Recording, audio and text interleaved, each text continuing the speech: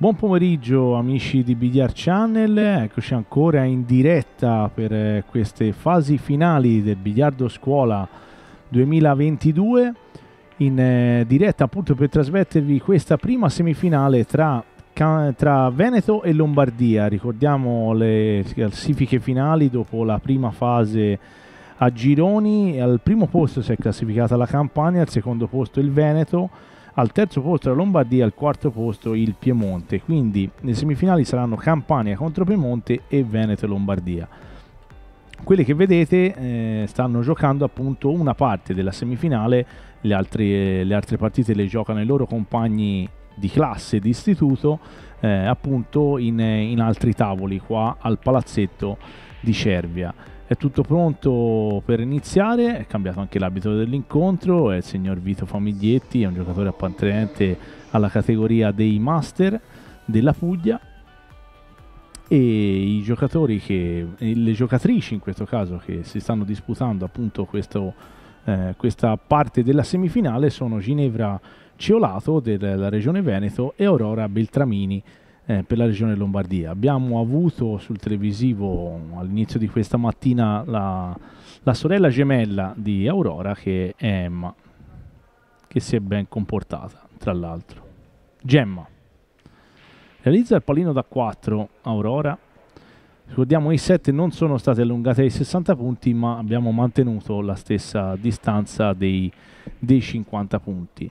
Sono tantissimi i ragazzi che sono giunti per giocarsi queste finali nazionali dei campionati studenteschi, sono in tutto 93 appartenenti a quattro discipline, si sono aggiunti anche i ragazzi delle boccette, dell'Emilia Romagna, eh, sono appunto la stecca, il pull, la carambola e anche appunto le boccette. Su quattro specialità, 93 ragazzi, sono molti di più inve- gli, coloro che invece hanno eh, giocato per tutto l'anno e hanno aderito al progetto scuola, sono 1800 gli studenti, 32 gli istituti coinvolti, in questa fase finale sono accorsi 93 giocatori provenienti da 21 istituti ed esattamente da 11 regioni.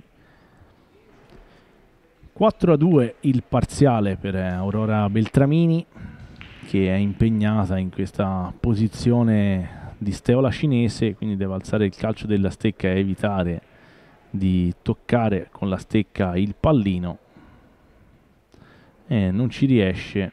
Eh, fa un errore abbastanza vistoso purtroppo per lei. Regala 12 punti fa una steccaccia regala 12 punti alla sua avversaria e potrà usufruire quest'ultima anche di una biglia libera. Tra l'altro potrebbe anche mantenere lì la, la biglia realizzare un 2 e lasciare la sua biglia intorno al castello, vediamo se, se sarà di questa idea.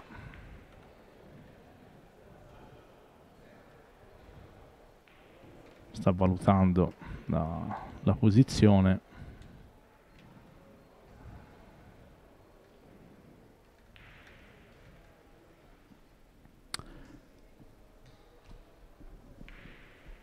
Ricordiamo alla fine de, dei gironi eliminatori il, prima, la, prima, la regione prima classificata di questi campionati studenteschi è stata la Campania che se la vedrà con il Piemonte nell'altra semifinale che si sta disputando, le partite che si stanno disputando negli altri tavoli.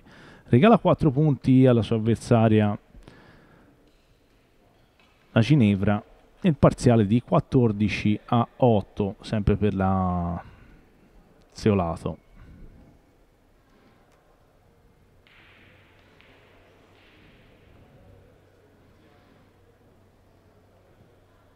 Aurora è impegnata in questa conclusione frontale.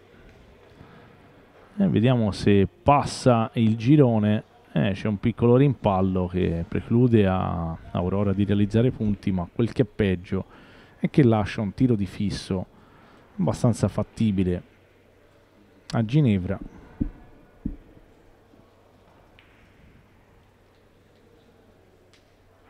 4-18 il parziale può prendere un consistente vantaggio dopo questo tiro Ginevra Ciolato eh, purtroppo però prende una quantità troppo scarsa di bidia e lascia una buona opportunità ad Aurora che nella prova biliardo ha tirato fuori qualche conclusione. Questa certo non è facilissima, però abbiamo visto in prova biliardo eseguire molte raddrizzate molto, molto bene. Realizza tre punti e si porta a 11, 14 a 11 il parziale.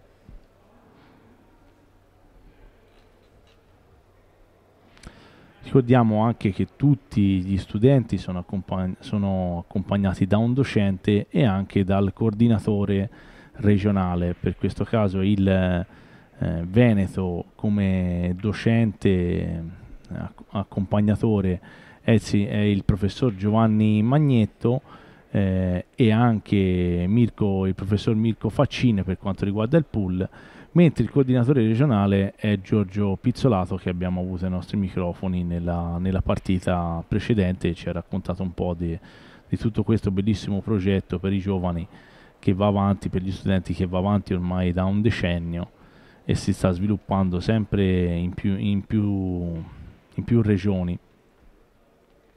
Mentre per quanto riguarda la Lombardia, il docente di riferimento, eh, i docenti di riferimento, sì, perché la Lombardia porta una squadra per la stecca, una squadra per il pool, per quanto riguarda la stecca il eh, docente di riferimento è il professor Gaetano Francioso, mentre il coordinatore regionale è il signor Walter Ugolini. Per quanto riguarda invece il pool, il, eh, il professore di riferimento è il professor Aurelio Montalbano. Ancora 14 a 11 il parziale.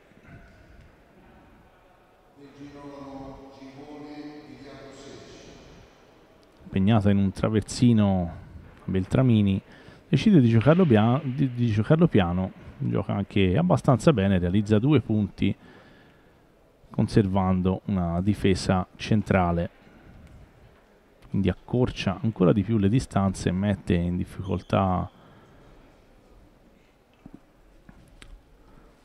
una propria collega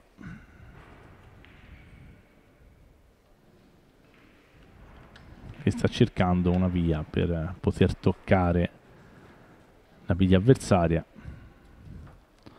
tra un po' credo che avremo anche una piccola sorpresa eh? adesso ci deve comunicare quando è disponibile eh, però avremo sicuramente un collegamento da remoto volante Fabian insieme a Gianluca che ha seguito qualche partita questa mattina ci ha salutato però insomma vogliamo portare il saluto di Gianluca che è a casa quindi vediamo se riusciamo a collegarlo a prendergli due battute al volo. E tra circa una mezz'oretta eh, avremo ai nostri microfoni anche il presidente della federazione Andrea Mancino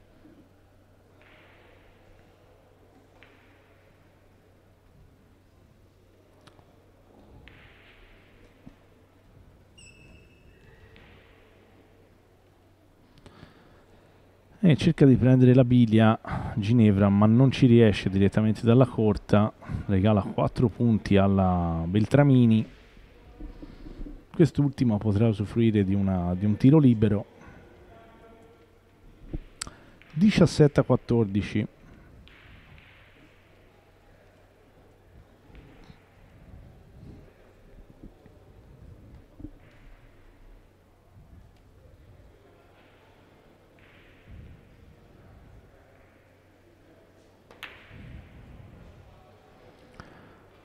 bella conclusione di raddrizzata di seconda e terza. Strike per, eh, per la Beltramini, realizza 12 punti, la più bella conclusione dell'incontro, forse anche la più bella conclusione di tutta la manifestazione, di tre passate e mezzo, 12 punti, bravissima, davvero bravissima.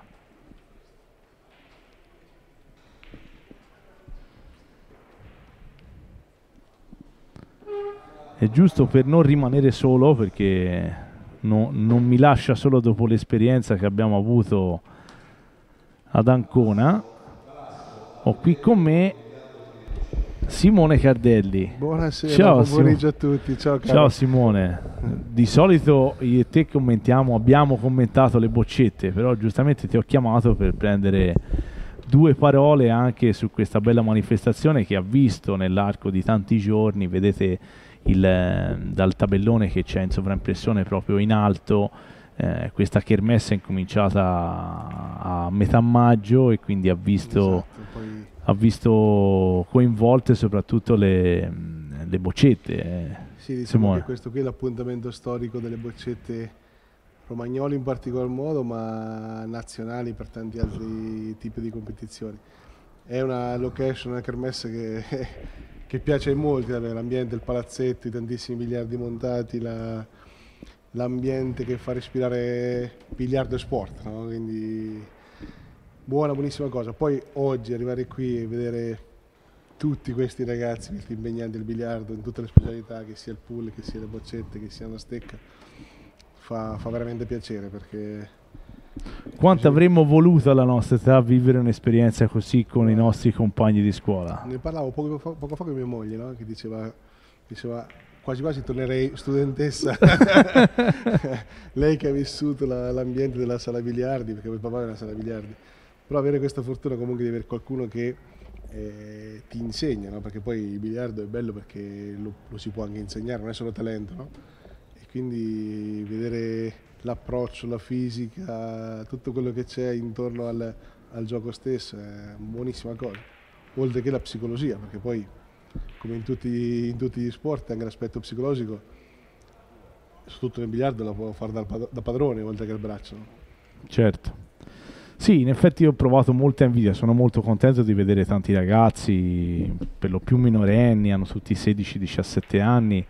Insomma, mi sarebbe piaciuto ai miei tempi, quando si parla Qualche prima dell'anno 2000, non so per te, ma per me si tratta prima del 2000, vive un'esperienza così insieme al, ai miei compagni di, di classe, di, di, di studio, insomma, sarebbe stato veramente bello. Sono contento perché questi ragazzi ne hanno la possibilità anche in tante altre specialità. Ora, tu sei chiaramente un giocatore, un appassionatissimo di boccette, però insomma io sono molto contento di vederli anche adoperarsi nel pool e nella carambola. Senza, ah, la carambola è molto affascinante. Io come dirigente territoriale FIBIS mi occupo di, le, di, tutti gli aspetti, tutte le specialità della, della nostra federazione e pratico le boccette verti anche a buon livello secondo me, ma sono appass- cioè, mi appassiona e sono interessato a tutto quello che è l'ambiente stecca carambola, che poi la carambola secondo me proprio è la, il non plus ultra forse del, della, della, conoscenza del biliardo, no?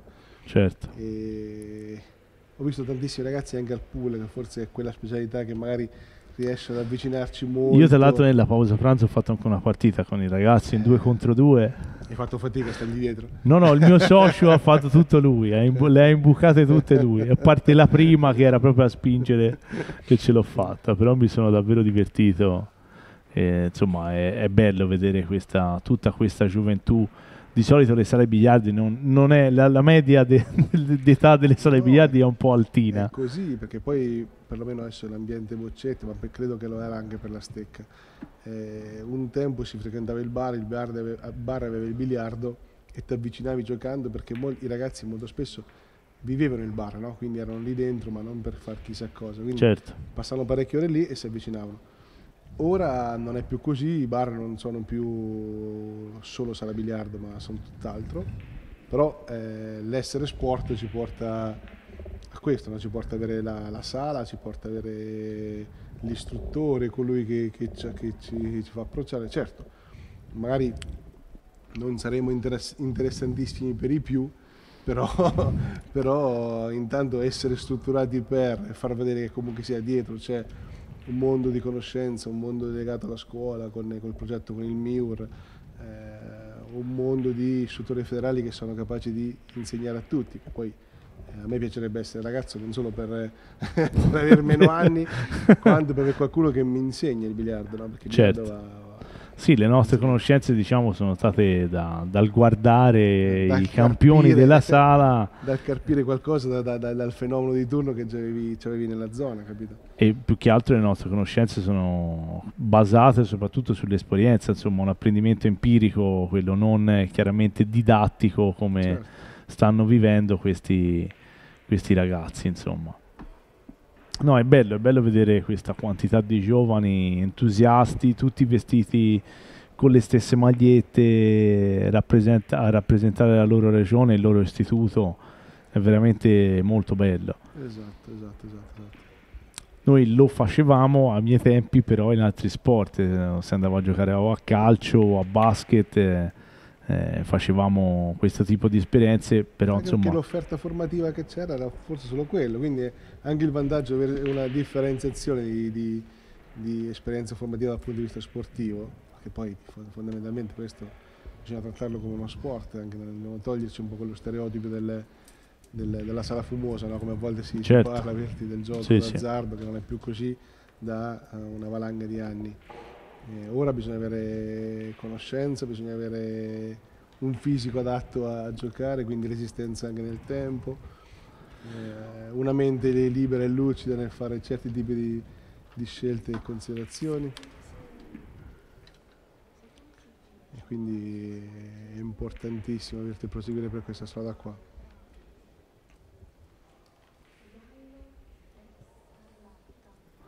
Allora, guarda, se Tom gira la telecamera eh, possiamo vedere anche le, le fasi della, della finale tra, eh, tra Gallo e Scarlatta che si stanno giocando la finale della carambola. È venuta la nostra Valentina Spada ad avvertirci. Qualche volta disturba anche, però dai. No, no, la Valentina non disturba mai, assolutamente. La nostra Super Vale non disturba mai. Gallo Christopher contro... Eccola qui. Che tra l'altro credo non sia carambola a tre sponde, ma sia carambola e basta. Adesso qui ti chiedo, ti chiedo aiuto. Ti chiedo aiuto per la differenza fra la carambola e basta. Forse so perché non c'è l'obbligo della. Non c'è Della- l'obbligo della delle tre sponde, sponde, ok. sì, sì. È una carambola, carambola diretta. Che insomma, già a farla a tre sponde, giocassi almeno io, potrei fare una carambola ogni 60 tiri. cioè, No. quindi, A volte faccio fatica a capire da, da- da dove vengono fuori queste traiettorie, veramente. Riescono a fare con quella stecca. Eh, riescono a fare delle cose importanti. Sgarlata Marco, e la finale e Sgarlata Marco. Arrivata a 49 Aurora Beltramini che ha fatto poco fa il, la- il tiro più bello di tutta la manifestazione, la raddrizzata di- con strike, 12 punti a più passate di 3 passate e mezzo e da lì ha costruito la, la rimonta e appunto sta cercando di arrivare alla vittoria. Solo, manca solo un birillo a Aurora per aggiudicarsi questo match per la, per la sua regione, la regione Lombardia.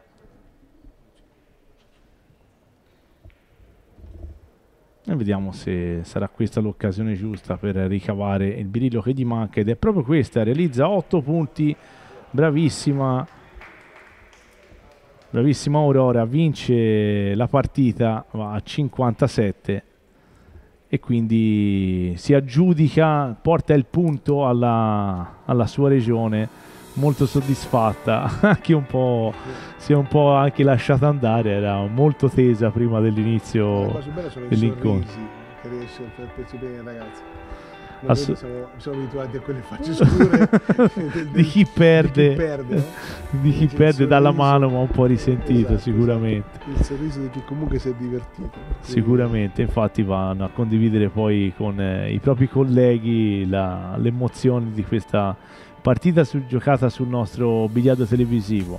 Allora, noi vi diamo l'appuntamento a tra poco per un altro incontro che vedrà impegnata la- un rappresentante della Campania e uno, e uno del Piemonte e do l'appuntamento anche più tardi a Simone che ormai ti, ho, ti ho ingabbiato Sarà- e rimarrai con me Sì, sì, perfetto. ok. rimarrai con me anche più tardi. Quindi ci vediamo davvero tra poco su Biliard Channel, il A canale del biliardo.